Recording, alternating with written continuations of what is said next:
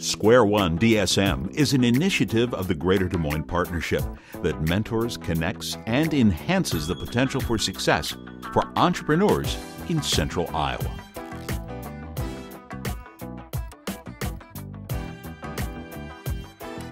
How's everybody doing? Welcome to the hottest day of the year. What's going on with the weather? I'm going to start that. I'm Mike Caldwell. With the, work with the Greater Moines Partnership. I run something called One DSM, which is all the entrepreneurial activities of the partnership. Uh, it encompasses basically mentoring, consulting, counseling to startup companies that are trying to build something of scale. I don't work with traditional small businesses. In fact, we have someone here that does work with traditional small businesses. So. Um, but we do uh, a series of things, including networking events, educational events. Uh, we do startup stories once a month. We take December off, otherwise we do it every month. And I'll remind you that every startup story we've done in the last five years is online on our website. So if you want to go back and look up, there's some really funny ones. Um, we were talking last night, uh, Paul Singh is with us. Paul, raise your hand? Paul is a guest this week. Uh, Jeff Wood brought him in on a tour called Diotech Tour. Paul's a uh, angel investor, airstreamer, uh, power skateboarder, uh, kind of tech guy. Um, we were talking last night, and we are talking about different parts of entrepreneurialism and, and growth companies and all this. And one of my favorite interviews ever was Ben Milne a couple years ago. One of the people in the audience says, what do you consider market acceptance? And Ben deadpan looked at him and said, a check that I can cash. Uh, that was kind of a brilliant piece. But there's some really funny things out there. Uh, next month uh, at our event, we have Tori and Carl Merritz. Tori just happens to be with us today. Rocket Referrals is another local startup that is pretty much a bootstrap. And we don't hear a lot about bootstraps anymore, but it keeps on how much capital they raise. And, and Tori and Carl didn't raise any. And we're going to talk a lot about bootstrapping and and the success they've had, because they have a lot of success. I don't want to ruin the thunder, but they're doing really, really good. They actually pay themselves. And that's the mark of a successful startup. They have cash flow and can pay themselves. And you have four employees now? Is that right? So that's next month. Um, let's see, other than that, uh, we're going to try to you know, get a little cooler because it's too damn hot out. Um, so my guest today is Katie Patterson, and welcome. And what we're going to do, our usual program is I will talk with Katie. I'll be asking some questions of Katie here for the next 30 minutes about what she's up to. And uh, she's, her company and her team are doing some pretty interesting stuff outside of the traditional work they do. And then I'm going to open up to questions. So I want you guys to be thinking about the questions you want to ask. Um, and I'll open it up and I'll pick you. And I apologize if we don't get to everybody. And if you don't mind, I'll probably try to repeat your question. Um, so with that, welcome. I wanted to ask you, the first question I wanted to ask you, um, we got into this big conversation last night, we are talking about failure, and uh, Lunch was in the back talking about failure. And I know you've built this thing, and we'll get into the little history. Mm -hmm. um, I'm kind of hit you cold with this, but are there any particular things that you remember from your career through starting this thing, you go, oh wow, that was a failure that I learned from, and I'd love to share it. Just today, or no. from? Well, yeah, just today. Honestly, I love those. Just today, yeah. You got one from this morning, or the whole six years? Yeah, yeah. which ones are you interested in? Um, I think anything that helps them. I mean, the thing that I, you know, you ever notice you have to touch the stove? You can't yeah. tell anybody don't touch the stove, you'll burn your hand, everybody's going to immediately put their hand by the stove and see it's hot. Just trying to save people from hand syndrome. Is there anything that really sticks out to you? Yeah, I think that's a great question. This morning I was actually just watching a mini video of the founder of Spanx said that one thing that changed her entire direction is that every night at dinner her dad would ask her, what did you fail at today? You he would never ask, Yeah anything like that. And I think that's so interesting that he, you know, because if you're not failing, you're not trying. Right. And I think that's obviously a great concept. You know, I would say we, there's been so many different things and, and all of that. Just last week, we have to make decisions all the time. Um, a huge state agency specifically reached out to me, asked us to submit an RFP. We are still a small team and RFPs probably take three days at minimum. It was about a $2 million RFP. They had said they had specifically thought of us for this, and at the end of the day, I know it seems crazy, but a month just wasn't enough time for us to get that done, and we flat out decided to um, not submit to it. You know, even the director had reached out to me, it was a really hard decision, but we had four huge RFPs up. I had to choose one to bail on, and the state ones just have higher requirements of different documentation you have to do. I don't think I've slept since last Tuesday since we didn't submit it because I knew that we had an amazing shot at it and what direction would have that taken. But I know that taxing my team and reminding myself that, you know, the other opportunities are ones we wanted more and saying no can sometimes be a really positive thing of what's a good fit. Um, and so, but it does feel like a huge failure. Like what would have that gone? you know, I can't stop wondering like what other opportunities would that have opened up for us and things like that, but, um, But you did it anyway. but we, I, You mean, you just had to make that choice, yeah. We went through that one time with, uh, my company, Walmart, with the buy purpose, and it would have destroyed our company to support Walmart or somebody. And they ended up going with their next competitor, which was twice as big as we were, and they didn't mean to, but they wrecked the company, because it was just too big. We couldn't grow that fast, it's just a hard. It's frustrating, and I'm still So thinking about it because it's the first thing that came to my mind, but I have to just think about what are we gonna get because we didn't do that. So for those that don't know you here, and a lot of us, a lot of people who probably don't know you well, tell us about the start of Happy Medium, kind of give us the, the overview arc Yeah. from day one to here. Absolutely. So um, I started Happy Medium in March of 2011 on my own. My original business plan that I did with the um, Small Business Development Center says I have no desire to have any employees. And I'm proud to say we are a team of 22 today. So executing business plans maybe isn't my strongest suit. But um, you know, dreaming big is really something that I love to do. So I am not an entrepreneur who was born and was like dying to be an entrepreneur and had all these dreams to do that. That is not my story. Several pieces of my growing up story could have led you to where I was going to get to today. Like, um, you know, every single report card I have from the day I was in kindergarten says Katie is too bossy. Um, and while that may be true, it did help, you know, build the foundation of being a leader. And I strongly encourage everybody to not call little girls especially bossy because I think that is um, a Or problem. rebel, Yeah. revel in their bossiness, it's a good thing. Yes, own your bossiness. Just like bossy boys. Yeah, um, and so I'm not bossy, I'm the boss, as Beyonce says. And so, you know, a lot of that things happened. I was the top Girl Scout cookie salesperson in the whole nation and all these crazy things that um, my parents thought was, you know, just random, but all of that. And if you add all those pieces together, entrepreneur is probably something that was always in my core, but um, I didn't, I definitely sort of fell into doing it by just jumping on an opportunity. So when I first moved to Des Moines, I started at an advertising agency. I was there for about two years. Um, and then I moved to working at Channel 13 as an account executive on their sales team. All the foundation being built of having the agency side and the station side, which I didn't know, but certainly was a huge help for me now. I had a client that asked if I would come work for them um, and manage all their marketing that I've been working with for a long time. And instead of doing that, I started Happy Medium um, on my own and was going to planning to have them as my only client and outsource everything. I am definitely an account person. I am not a designer. Um, I am not a developer or things like that. And while I have significant understandings of all of those now, at that time, my knowledge base was none in those areas. So I wanted to outsource everything, um, and where I couldn't find places to outsource to in the market was where I felt strong digitally with marketing. So um, I started implementing and managing social media for clients and making myself an expert in that, which trailed into all of the other digital things we do. Now fast forward five and a half years, we consider ourselves a full full service marketing firm, which to us means that we are just as strong on the digital side, meaning we build a ton of websites, we have internal UX, we do um, social media implementation, we do digital and traditional media buying, all in-house, um, and also have a full creative department and do all things a traditional ad agency would do.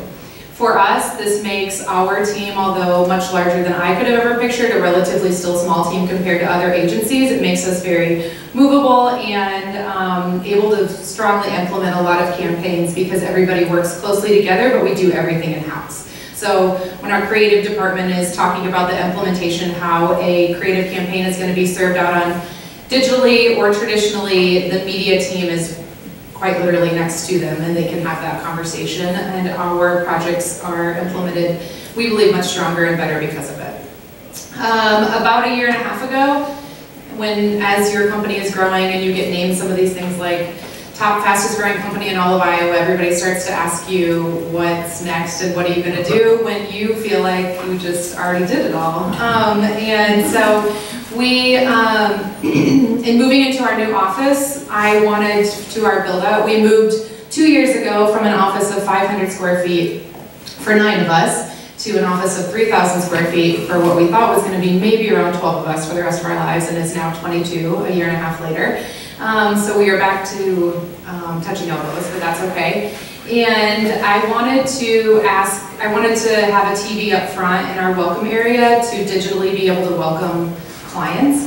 Um, and so as most, I'm sure CEOs do, I just asked the developers if they could whip something up for me to do that. And they did a fantastic job with that. And of course, as developers do, when you unleash them on, on a project, they took it significantly better than I would have ever imagined they could have. So they're, um, ultimately what we created um, was a laptop attached to a computer at that point, running a fancy website, running social integrations and um, client, you know, welcomes and photos and all of these different modules.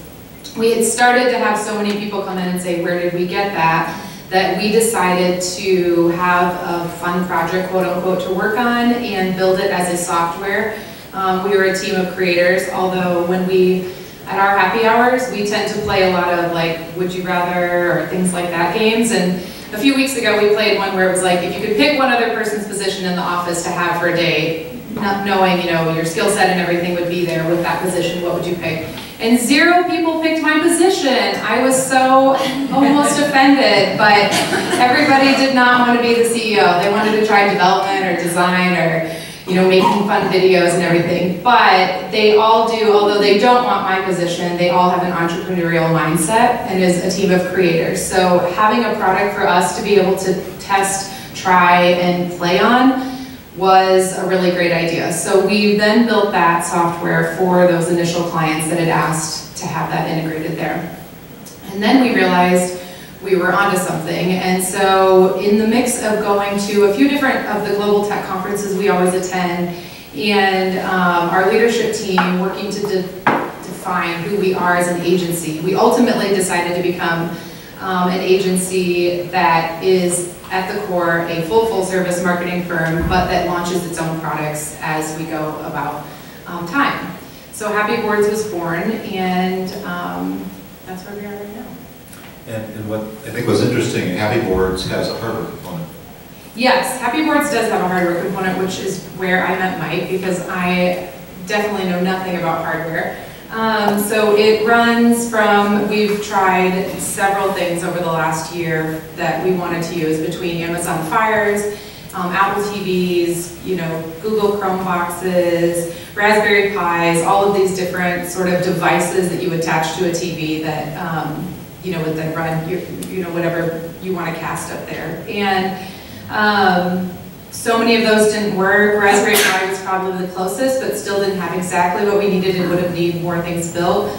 We ended up engaging a hardware um, company out of Portland that helped us figure out exactly what we needed and then helped us to try and define if we needed a custom hardware or if there was a hardware out there that wasn't maybe mainstream that we hadn't tried yet. Um, they presented us with five different options, and we ultimately um, moved forward with something called the Rikomagic RK-M22, and um, it's great. So it's great when you can get a hold of the people in China that you need to buy it from, and it's great when they respond, and it's great when you figure out how to ask them questions or talk with them, or your senior product engineer has you know, so many firmware questions that then you have to develop and all these things. But it is great if we have found something and um, where Mike came in was me not knowing anything about hardware and coming to him and saying, I need help. And so we are much further down that project, but um, it's still a really big process. And, and, I think what's important is you're, this isn't just a single TV, and we've got new TVs in our lobby and are actually talking to her about it because you do need this way to deal with it. You put the TV up now, you don't want it on the same PowerPoint. Some places you go in, it's the same PowerPoint, and in fact, I was embarrassed that I was down at the DMV getting my driver's license renewed. And here's one of our partnership videos running, loops, right? From two years ago. It's two years old, we're like, how did that happen? There's just no active way to manage the content. And you're seeing people that are very, very large scale saying, we have 200 TVs. Yes. What do we do with these? And I think, for the, just so you understand, the hardware is just an enabler It's just a box. I mean, it's like a Chromecast. It's, you know, three inches square by an inch half thick, you plug it in, it works. But it's really the software you guys built. Maybe you could mm-hmm. talk a little bit about the management of it, because I think that to understand the scope of this is to understand the complexities of saying, okay, I've got 100 TVs, 30 of them are in employee areas, 70 are in customer-facing areas, and by the way, some of it needs to be different by the fact that one's in Cleveland, one's in Dallas, one's in, how do I do that? Yes, definitely. So, you know, the really interesting thing about us starting to launch products is that we get to essentially put ourselves in the same places that our clients are in, and that's one thing we really like about it. So we get to figure out, how do we figure out what an audience is looking for? I mean, we have a whole UX department and we know how to do that, but how do we do it for ourselves? And then it's help us to be in their shoes. Um, so one thing we figured out for Happy Boards was that we were unique in the market and we aren't just, you know, I think a lot of times when you're inventing things, you can say, well, we're just digital signage. And that is definitely not the case, but you do have to define how you're different and what your um, product is. And for us, one differentiator that we noticed immediately when we started looking, A, we were shocked that there was very little competitors in this market, which is a reason that we picked this, because this is not the only idea we have. We have to work very hard every day to not do the thousand other ideas that we have. Um, we slash I. And so, stay focused. And um, so we figured out initially that there aren't a lot of competitors in this space. And then we also figured out that the competitors that are in this space, the people are frustrated with how their software is not UX friendly or, you know, isn't really remotely accessible or all these different problems. So one of our first clients we developed this for was currently um, burning 20 DVDs every single month, then mailing their, it was a bank, then mailing those DVDs out to all their retail locations, and someone at the retail location had to, you know, open the package and actually put the DVD into the TV, and then only that content was running, you know, for those next 30 days until they got that next DVD. So now that bank, from their corporate offices, can go on, log into one area, build each of those playlists, which is what's running on each of those TVs, and um, update it, and then it's in real time. We also have in-screen preview um, in our software, which makes us unique. Several of the companies that are competitors inside of their software, you still have to go to the TV to see what's going on, and so ours, which is weird, um, but you, on ours, you can see exactly what's happening and what's going with there. We were approached by, and have been, by several AV companies who want to resell this because it's great for events where you're pulling in hashtags and dynamic content. One thing that's really different about our product is that um, it's our software is only allowing one piece of content, although dynamic with background images, um, to be on the screen at one time. Several people in the digital um, display or you know, area have, if you go see a lot of these screens, there's like three different boxes. There's weather and there's, you know, news tickers. Like and Yeah, it looks like CNN. There's too much going on. And through research, we figured out which um, is pretty obvious, but data helps you make decisions, is um, that you, people can't absorb that much. They're walking by screens, they're already looking at their phones, they're like sitting in a lobby and they have a magazine, probably their phone on and, and the screen. So what is the point of this TV? And I, and this software. And so being able to update in real time, but forcing only one thing on the screen at a time, although dynamic, is the direction that we're taking. We do get asked a lot now, like, hey, can you shove on a news ticker? And hey, can you do this and that? And the answer is just always no. That is available if that's what you're looking for, but that is not what we're trying to make our product to be.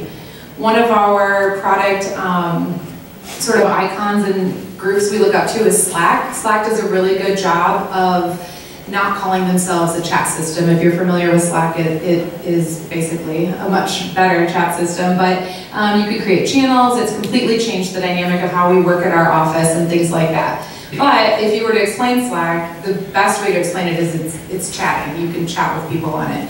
Um, and they do a really good job of defining the fact that they are not just that. Essentially everything you do on Slack you could do somewhere else, but they are trying to change the entire way that you work at your office or within your team or within your group. Um, so for us, we are also a company, and we sort of have stumbled on this um, in figuring out what makes us different. We are a company that puts a ton of focus on culture. We have an internal culture team, they manage our culture. Culture is a word that gets thrown a lot, around a lot, and for us, culture is very actions, not words. We want to show you that we're building our culture. And one problem that a lot of businesses and teams have is how do you convey culture both to external people or internal people? This product does that. So we are now moving this product into a space where it's like explaining that if you if your if your happy board is running in your lobby and somebody's waiting to meet with you, if they're waiting out there for two minutes, by the time they meet with you, our whole goal of this product is that they will have a significantly better view of who you are as a company before they even sit down to talk with you. Our whole goal with internal, so this is a place where this is a product that might be running in break rooms, um, especially break rooms. We've had a lot of people reach out to us that run, um, you know, like, like Hormel Foods. They have all these people working in plants. A lot of those people don't do email, so how do you get information to them? You print out flyers and put them in their mailboxes maybe, but obviously the world is changing. So putting this screen in their break rooms where those people are very, very dedicated to their breaks, they're going to take a break, they're going to sit in the break room. This is the way that everyone at the top of Hormel that's trying to convey culture can do that globally. So how do you support all this? I mean, you, are you, you're starting to bring on customers, people are buying them. Do you send them the box and they put it in themselves? Do you send somebody out? Mm-hmm. So I buy 50 of these, I want them in 30 cities, now what? Um, that's a good question. We have multiple different ways we can do that. Our UX department has been working very heavily on building easy to install um, things. Our developers have made the product, so the firmware on the product now, the minute that you plug that in, it automatically finds your internet connection, whether Wi-Fi or Ethernet, and then the first screen that you would see is the code that you type into the software. So it's a very easy process once you have the, um, the hardware. Right now, that hardware would be shipped from our current office here in Des Moines. We are working on getting it to be, once it's ordered through the site, um, shipped directly to you. Cool. So you've got 22 team members now. Let's talk a little bit about getting from 11 to 22. And uh, a lot of people in here are hiring their first, second, third, fourth, fifth person. You've probably been through it more than 21 times. Probably, not everybody probably made the full cut all the way. What have you learned about hiring? Hiring is something that I did not anticipate or see coming at all when I started the company, obviously, because my business plan says no employees. So that was not something I was planning for. But um, I was horrible at hiring the first two years, horrendous. It was just awful. Why? Why were you horrible? I mean, you just are like, you're meeting with people and until you really know what it's like to hire and you've failed at it, at the, speaking of failing, um, failed at it so much, it's really difficult to find what you're looking for. And hiring still, even though we've gotten so much better at it, there's so many catches we have now, there's so many different things we have in place, you still are sort of shooting an arrow into the wind when it comes down to it. People can be really, really, really great interviewers. Um, we don't hire anybody anymore without doing some sort of challenge. So whether you're getting hired, you know, to be the new executive assistant at our office or the senior product engineer, there is some sort of challenge you will do um, at your final round to be hired at our office. Can you give us an idea what a challenge is? Yeah, so for example, obviously a developer challenge or different things like that are much easier to come with up with, but we don't only do, um, you know, we don't only give you some sort of developer challenge where we want to see you have put together a basic site or, you know, something like that. We also do quizzes. So, you know, we want to know what your PHP skill set is through a quiz or things like that, and we do it timed. Although we're fine with our developers, of course, as they do Googling and researching to find answers, we just want to know where your skill set is and what we're getting when we hire you. But for an executive assistant, she had to um, put together with very little direction, um, a crazy travel week that I had. We just said, this was a real travel week I had, we need you to plan it. And we don't really give a lot of direction, and there really isn't a lot of right or wrong answers necessarily with the challenges that we're doing. It's just that we want to see how you execute that. How did you present that information? What did you think about? So the person that we ended up hiring, she even, you know, in explaining why she picked what she picked, you know, I think the final thing that solidified me picking her was She's like, well, it's a Friday, um, and I picked, uh, although you're leaving early in the morning, I figured you'd want to be home in time to put your son to bed. which is a priority for me that I didn't have to convey to her, but I could tell she was already gonna be great at sort of thinking at all the different things, so. And she was a pretty quiet person when she was interviewing, so she may not have been somebody I would have just happened to hire. So if I come in uh, through the queue and get a first round cut of job, how many times am I coming through and how many people am I meeting with? You are meeting at minimum with our entire leadership team at some point in the process, which is a total of three, um, including myself. And then you're meeting with your department head if that's not one of those people. And then a person, one member of our culture team meets everybody. So you're coming in at least three times before you do the challenge. So how's that working out now? I mean, do you feel like in year five, what you're getting for hiring, you're, you're doing a better job? I mean, has it made a big difference? Well, at one point in my very early career, I hired somebody who two weeks into it asked me for a meeting and told me he wasn't sure if he would less rather work for a female or less rather work for somebody younger than him, of which I qualified for both of those roles. So um, I haven't hired anybody like that in a while. Um, so that's positive. We're doing better at figuring that out. But um, yeah, I think it is. I think the culture team really became a huge piece of that in helping us define here's exactly what we're looking for, and we are not afraid to not hire somebody um, based on skill set. So if they have a great skill set, but they are going to not be a great culture fit, we are nearly at a 50-50 um, judgment basis on that. Tell me about the financial side of your business. Did you have a financial background when you started this business? No, I always say I went into advertising because I don't do math. Um, and Talk a little bit about what you've learned in financials. Sure. Well, Accounting Kevin, as he is um, delightfully called at our office, he Accounting Kevin. Accounting Kevin. For some reason, when I started the company, between the IT person I had and a bunch of them, they were all Kevin's or Dave, so everybody had to get um, tagged with what your role was here.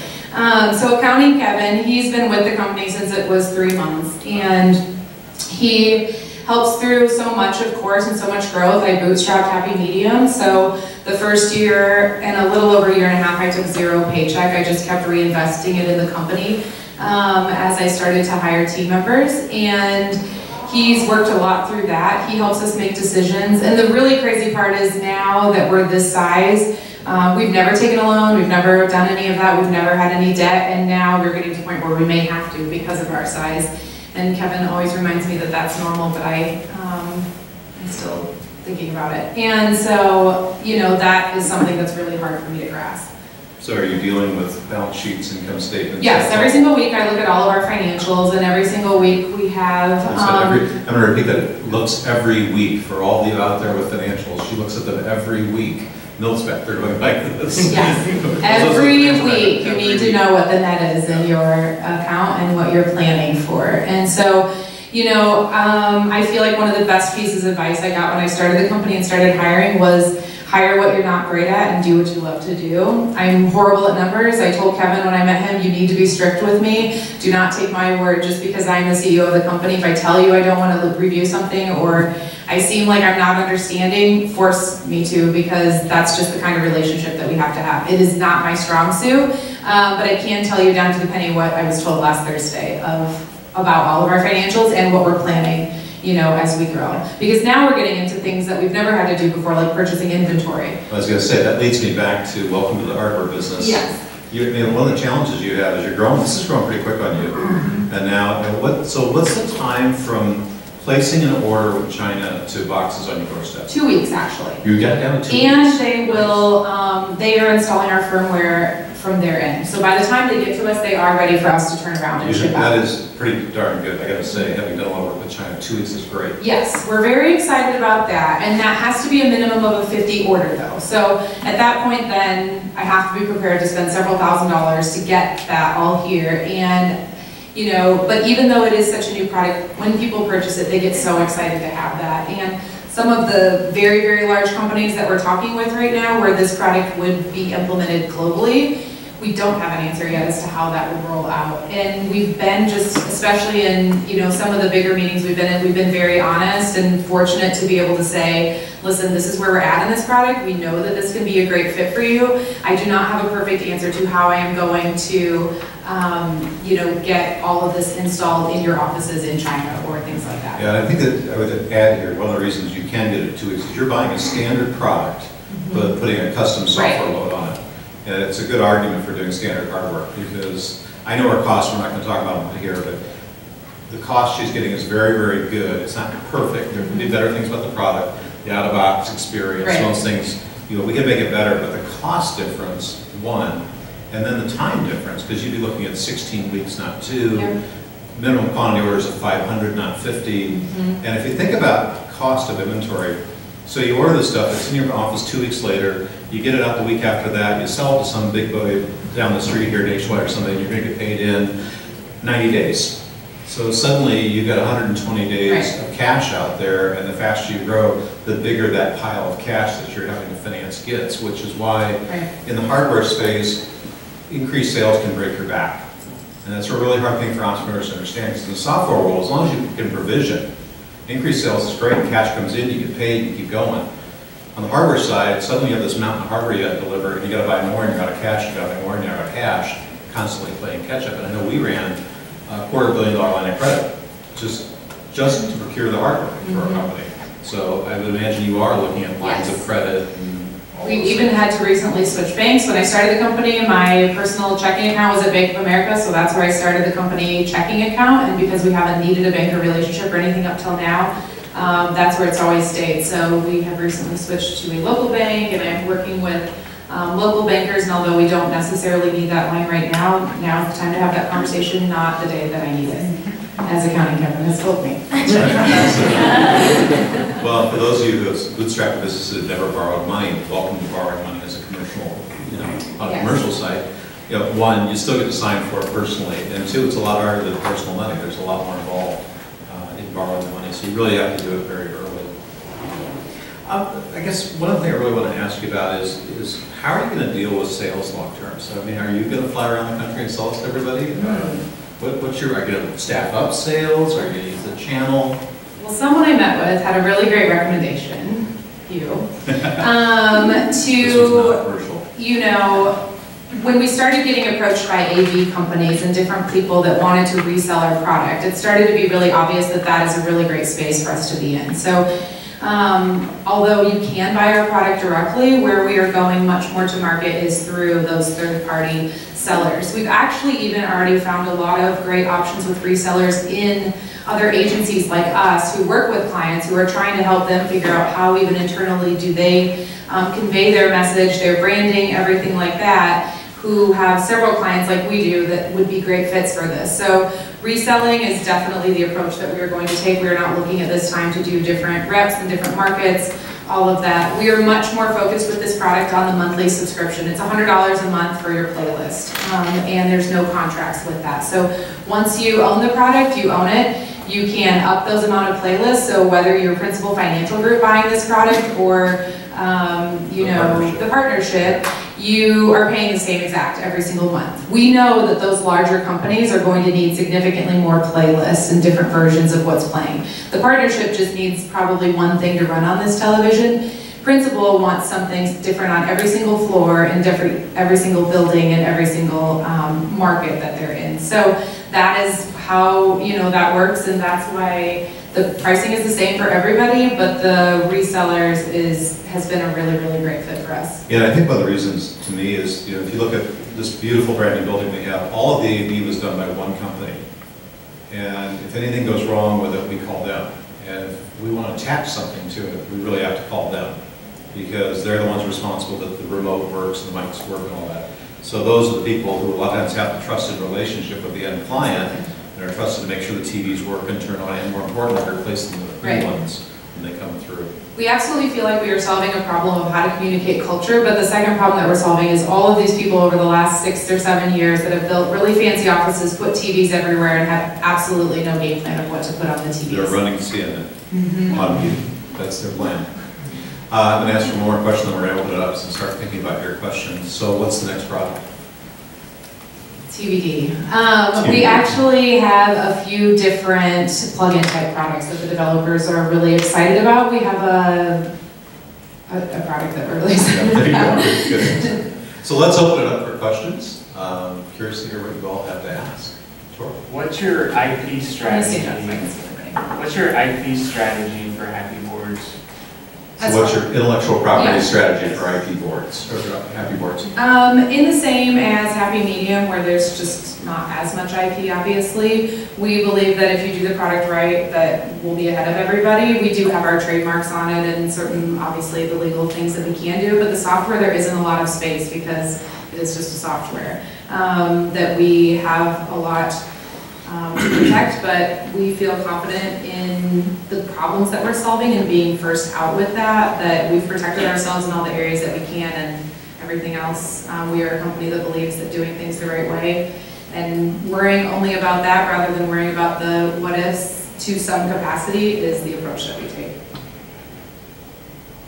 I I was uh, kind of wondering, when it came to the certain screens that you were going to show, I'm guessing when you started development, you were going to start reaching out to understand, take all the developer ideas and figure out, here's one screen idea, here's one thing that they, they could put in. Um, How did you go about that process of deciding which of the actual end, end screens that people are going to see and which ones you actually threw out? What was that process like? So our software is module based. So you get to go in, log into our software, and then there's all sorts of module options. So some people think it's really great to, they need more hashtag based type modules, some need videos, some need different social platforms, some need full screen, um, some need greetings, all different things. So it really works as a playlist where you build any module that you need and then you drag and drop your playlist in there and then you can drag and drop within that about the order that you want that playlist to go or the frequency.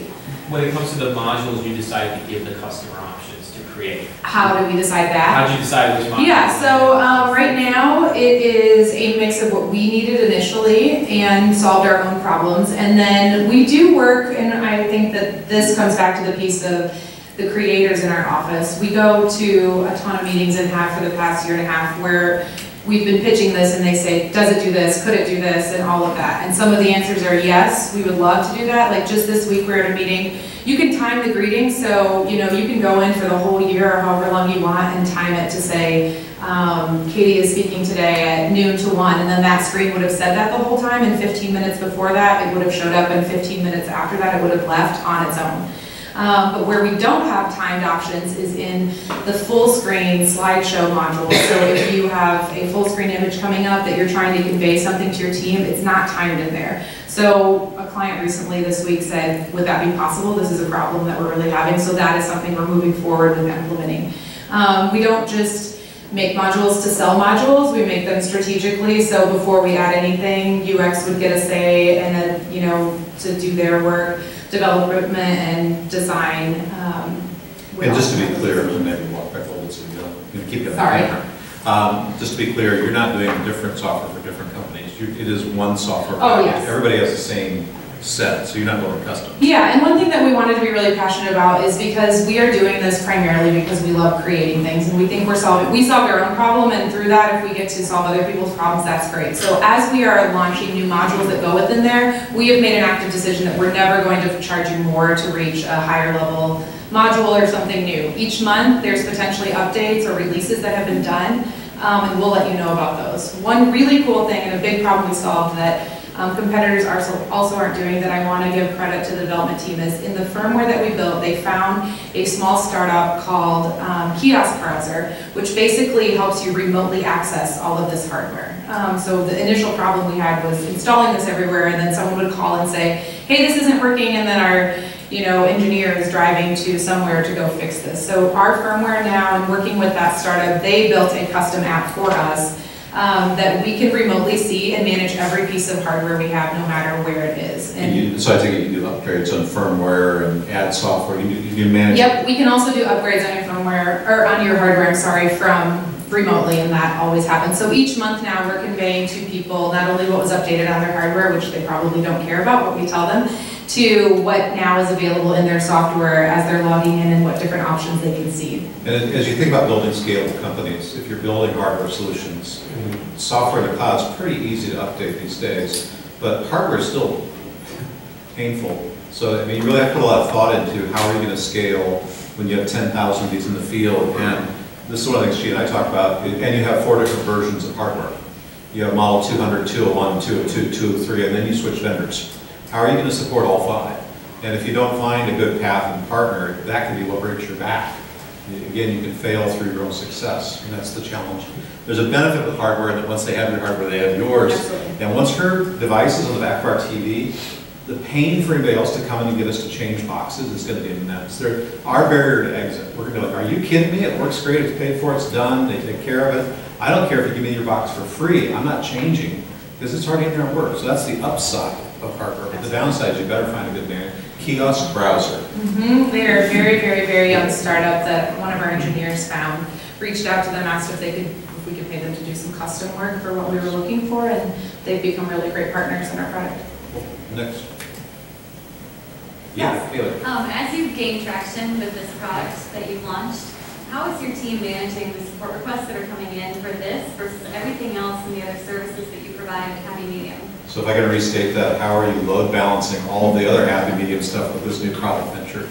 Well, you know, I think that that is a great question. We have focused mostly on doing, uh, most of the people that we're working with now, we still have personal relationships with to some capacity, even though um, we're working certainly out of state or doing things like that at this point. Um, We have those initial connections, and our UX department is still very actively involved with each of those customers, constantly asking them questions. We want all the feedback and all of that, so we're still in a phase where we want that day-to-day or, you know, question-to-question interaction. Um, But we are moving, working as this is scaling fast to a model of um, online support only. It is our goal through our UX department being so heavily involved with this that we will provide so many answers on our site and ways to help people and resources there. And also with the product being, you literally plug it into your TV and it does, it, you'll, an initial startup screen happens, all of that. It's, it's very, very, very simple um, to do that. That has solved a lot of those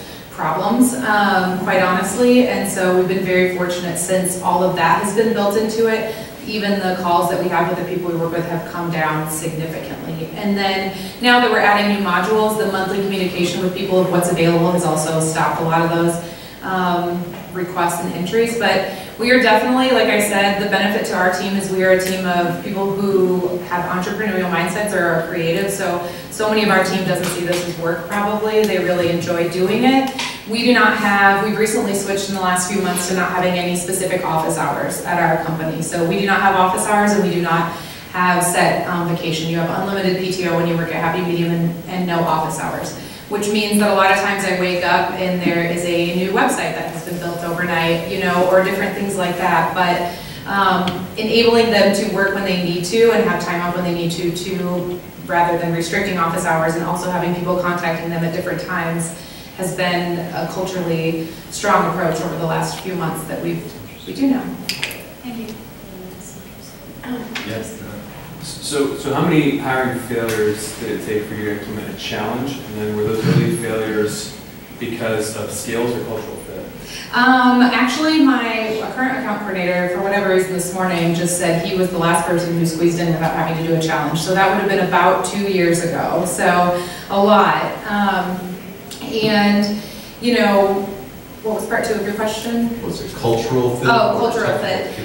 Both, you know, like, and, and we've even had to get better about doing those challenges. So the first challenge we did um, quite a while ago, and we used to do challenges for some departments, like things that are easier to do challenges, like a design challenge or a dev challenge or a um, social challenge or things like that. But um, the first, very first challenge we did, we emailed it to the person and then said, next week when you come meet with us, we need you to have X ready to go.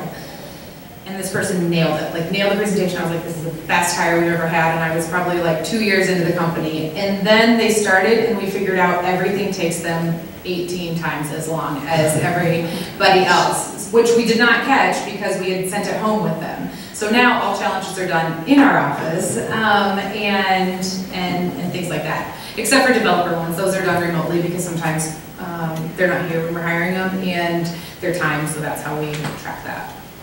What do you say to people who failed the challenge? Well, there's not failure, we don't, that's not like the nice word, but, um, they don't fail they maybe just, it, it really has become a place where people, the whole weird thing about hiring is that, what are you gonna know about, I'm, I'm gonna add you potentially to my team, and our team's still small enough that we're still hiring people that will be potential owners in the company someday, maybe, I don't know. But we're only five years in, so it's a really intimate thing that we're still hiring for, and, um, you know, it's not necessarily that they failed, but there's just certainly better fits in different places. So people, like I said, it's crazy how great people are at interviewing and how bad they might be at their job. And so the challenges has helped us unveil what maybe great people who aren't great at interviewing are in with skill set. You can tell me you're great, but I would like to see it. Do some of the key people who are working with Happy Boards have ownership in the company? No, at this point, Happy Boards is still a subsidiary of Happy Medium. Um, when we started this product, so I was approached two years ago by, um, it's out there, but Gannett Media for acquisition of Happy Medium. I was not looking for acquisition. They literally just asked me for a meeting to come in. I thought they were going to complain to me that my media buyer doesn't buy the newspaper for our clients. Um, and the conversation was completely different. And so um, ultimately through that, I decided I didn't even want to see an LOI. I wasn't interested in selling at the time. And, um, but I was comfortable with potentially our products being things that we sell off of the company. Happy Boards is unique and in talking with Mike and other people too, that um, this is a subscription-based model, so this one's a little easier for us and doesn't have as many service needs. It's a little easier for us to keep. keep. Um, but as we build products, our goal would potentially be to sell those products off and keep the core of the business. Um, at this point, I am the 100% owner in Happy Medium. Can I ask you a question off of that? Sure. How do you motivate the employees who are working on it, especially hard, um, when they don't have that equity stake like, like a normal startup? Um, I think that, I'm not sure, I guess they just really like our team and our culture. I think that, I know for a fact Cody, who's our product engineer on this, went from a job where he was like expected to bang out a bunch of websites just constantly and he had no control over the process. And although our company does things completely different on that capacity alone and that would have fulfilled him a lot more developmentally, I think. Um, you know, he loves that he gets to sit at home whenever he wants or work from wherever he wants and has so much control over this project. You know, we're still a small team, so our people aren't being told necessarily what to do. I expect them to be the people figuring out what we're doing. And that alone has been, you know, a huge probably um, piece of what they really like doing. They're not just an engineer, just on a team being said, here's what we're developing today. It is them getting to figure out the problems and finding the solutions and then ultimately getting to build those. Right here in front. So, uh, two quick ones. First, specifically about the product, um, because my mind was going with that, but, um, so you purchase the hardware Mhm. for each location, and then there's a subscription to the software that's per playlist. Mhm. So if you had ten offices and you ideally wanted something different playing in Tampa and Chicago, because I, I work with an architecture firm, so Yeah. they like to show architecture that's Mhm. specific to that region, um, then that would be her Per office playlist, then. yep. Okay.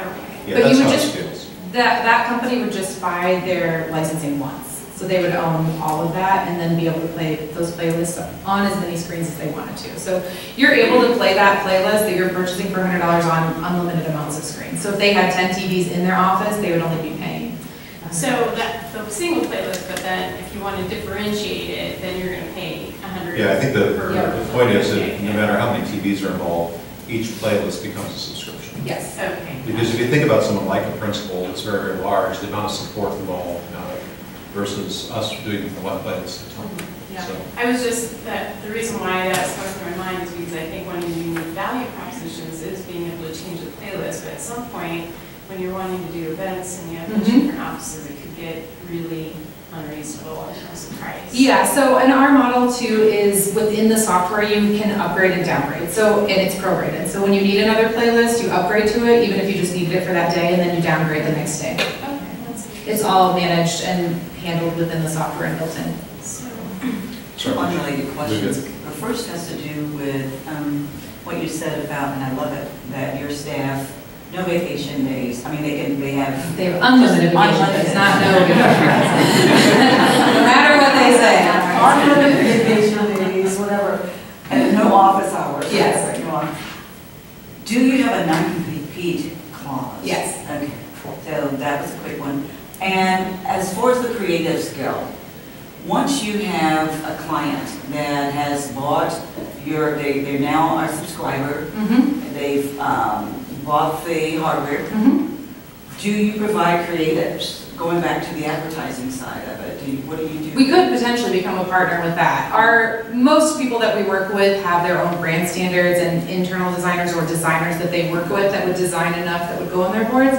But we can definitely either implement or provide guidance on that. So what percentage then, if you were to think about a percentage, what percentage of your work, of your, your revenue is coming from the boards? Mhm. What's, what's coming from the That's a good question. And that's up to you if you want to disclose it. Yeah. We don't, it- no, I, if she wants to, that's fine, we just, I don't like. put I think I will people to for today, yeah. Yeah, Okay. it's kind of hard to break out revenue, sometimes that gets a little weird. We're gonna let, did you have one more? Um, Rebecca? Just the, the other, the second Yeah. question was just about collaboration. Because I've already been over to the Forge and they have kind of an opposite model, really cool space and everyone can move around. Mhm. But they're essentially there and, and so it's more of a collaborative Mhm. environment. And so I love the idea of remote work and um, I think that's great. But sometimes I was wondering if you could explain the challenge of people working all these different hours and in different places That's and good question. collaborating. Yeah. The challenge of an open non-hours. So we went to, we go to a lot of tech conferences and have um, a presence there as we're always trying to, you know, be leaders, not only in this market, but in general. Um, And I always come back with sort of one gem from one. One was this, let's just not have office hours thing. And um, I think that's a scary thing. I pitched it to the leadership team probably four months ago, and I was like, I think we should drop office hours. And then they both sort of just stared at me, and that's really hard to get them both to do because one is a design brain and one is an accounts brain. So usually one's at least on my page, and in this case, it was just quiet. But um, they, you know, were like, what if and what if and what if and what if? And um, I said, but what if people get to do a better product and do better work because they get to do it when it works for them? So we said we're gonna do an eight-week trial and we're gonna see how it goes. If it was a disaster in the first week, obviously we can always undo it and, and start there. Um, and I said I want to do as least parameters as possible because I wanna see where the pain points are if we're gonna do this. So the only parameters we put around it was, we work from something, a project management system called Trello, if you're familiar with that. And, and Slack is how we communicate with each other. So the guidelines with this were, you have to hit your deadlines, which is not a new guideline, and um, you have to be available to answer a question here or there when someone else is trying to move on with their project and get their things done. Um, so I was dying to see the Monday that we started this, how many people would show up at the office and when they would show up. Our hours previous to this were 7:30 to 5, Monday through Thursday, and 7:30 to 2:30 on Fridays. Um, and I went to the office at 7:15 or so that first Monday, and there was already two people in the office, and probably by 8 o'clock, there was over half the office was in the office. Um, so that was fine that day, and that worked. And then the few weeks later, I was also really curious to see as people test the waters a little more, who would not come in or different things like that. I've maybe seen one of our engineers like 10 times since this all started, and he's been, he was always productive, but he's been incredibly productive since then, but he just works better in his own hours, in his own space, in his own group. Um, and then another guideline we did put around, we do feel like collaboration is a big piece of what we do. So we said, we're not gonna tell you that the hours you have to be here, but we do wanna see your face once or twice a week here. Um, and so we just decided to move forward with permanently implementing, you know, hours like that. We have handled where we've had any potential issues. It is our thought always when rolling out these things that if we're having an issue, it's the person, not the, not the concept or the thing that we're doing. If we're having an issue with this person, with this policy, it's, it's not the policy, it's the person. I think one of the big things I've seen with these kinds of programs is it really is up to the managers about how they manage. And if you manage to the task and to the result, it's pretty easy to do. If you're one of the people who wants to know if everybody's in their desk at five, um, that's usually what drives people to leave big companies go to startups, is the uh, you're at your desk till five thing. And I think as long as you can go to truly, it's a little more challenging for the manager because you have to define very specific results that you need done. And, and on big dev projects, that's a lot of interim steps. You need to be here by Friday, it needs to work, you need to be here, it needs to work. So it's, and I think that's where Slack and things like that come in because we were using these kinds of tools even in the 90s because we worked in Europe and Russia. We had engineers in Europe, we had engineers in Russia, we had a few engineers in China already. And you, you really couldn't just have a talk. I mean, here you just go, go talk to each other, it's really simple. And if you work through a system where it's all documented, it it enables all that. I think that's what people in the Midwest especially still don't get as much as the coastline stuff people do, is these kinds of tools, while somewhat irritating in some ways, are so much more helpful because you can get- come out of it and go back into it and not miss out on what the three of us talked about 30 minutes ago, because we're not talking in the hallways, we're talking on the Yeah, we do a lot of check-ins, of course, see where everybody's at, see if anybody needs help. Jeff, Do you pay for Slack yet, and when did you decide to do it? do you pay for? Last Slack? week, Okay. when we could no longer access something in the archives that we needed to, um, an accounts person, instead of crying, I committed to, instead of crying, I committed to um, paying for Slack now, and that is working a lot better. We also are getting to a place where we have um, people that we're collaborating with that are outside of the Happy Medium team, and in order to be able to do that, we have to pay for it to have those extra um, tabs or channels, I'm not sure what they call those, but um, we started last week and it was an immediate hooray from everybody. Especially the accounts people. So much happens now in, in their chatting. We try really hard to force so much of that to happen on Trello so it stays, but it happens in Slack. Yeah, I can't, I know, know Slack really well, but I know one of its predecessor products, and we were using it for the same reason. And when you can set up private rooms by customer, especially with your Yeah. customers, where your customers have the opportunity to say anything they want, whatever they want, you solve big problems real easily, because, so let's say Bernard's my customer, if there's something going on at eight o'clock at night, he can say it. Now, he may not expect me to respond, but one of my people might respond to him, and even if not, they're gonna see it at eight o'clock in the morning, Yeah. wow, that's a priority, and solve it. And he doesn't feel like, okay, nobody's paying attention to me. We have clients we Slack with now too, a couple that we do huge projects for, so that works. We have time for one more question. I'm gonna take one in the back. How do you measure the effectiveness of social media other than people who just respond to a call of action? Like when you're delivering content um, to try to get people to eventually do that, how do you measure the effectiveness? Measuring the effectiveness of social media. The ultimate question. Um, This is the, the, the the mystery. Yeah, we get that question a lot, and usually I respond by saying something like, I will show you how effective social media is when you are in the middle of a social media crisis. Um, when somebody has said something negative about your brand, when all of that. Unfortunately, until then, some people just choose to see it as a necessary evil, that you have to have a social media presence. We can certainly, and when we work with our clients, um, you know, for example, um, Kum & Go is a great example. Anything you see implemented with Kum & Go social media is coming from our team, and we're working with them on all of that. And, um, you know, they have to have that strong presence. Can I prove to you that posts on their Facebook page or posts on their Instagram page are selling um, fountain drinks? Probably not, unless we do a very specific, specific campaign on social media that's only available through that. But what I can tell you is they have a strong community. They are able to get a lot of information of what's not working in each of their stores. They're a giant brand, and so um, it's really hard for them to get feedback from a tiny store in Tulsa, Oklahoma to their corporate headquarters in West Des Moines. Um, but through social, we can get all of that How's that?